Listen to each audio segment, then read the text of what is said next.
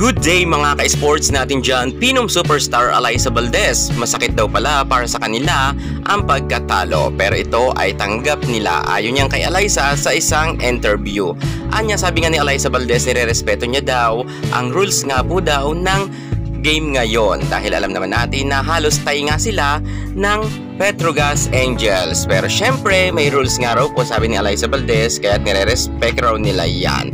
Pero alam niyo ba mga ka-sports, lalaban daw sila sa bronze. Okay pa daw po ito mga ka-sports. Kasi kahit papano ay nakapasok pa rin sila sa finals dahil hindi raw biro makapasok sa top 4. Alamin natin ang buong detalye. Kung bago ka sa aking YouTube channel at ngayon ka pala napadpad, huwag kalimutan i-like, i-share ang ating video at mag-subscribe.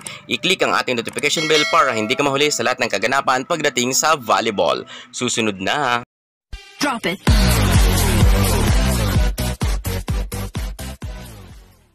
Sa isang interview nga, natanong nga ang ating Pinom superstar Eliza Valdez dahil since po daw ng 2017 hanggang sa ngayon ay hindi pa nakakapagpa-champion ng team ang ating superstar Eliza Valdez pagdating nga sa BBL Reinforce. Hindi pa sila nakakapasok sa Grand Slam.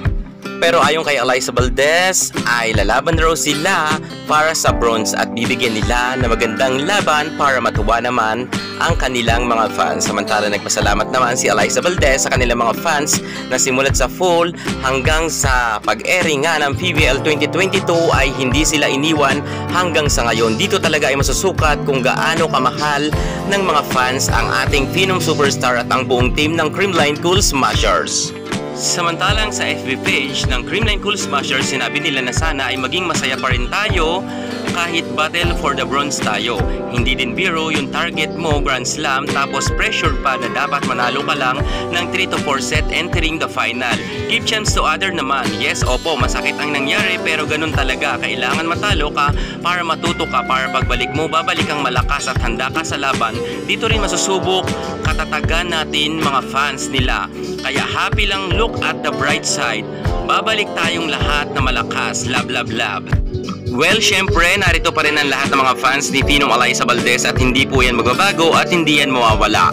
Dahil po kung talagang tunay kayong fans ng Creamline, kailangan maging good vibes lang. Win or loss, Creamline pa rin tayo solid. Kaya abangan na lang natin sila sa kanilang battle for the bronze. Yan muna pinaka-latest natin sa mundo ng volleyball.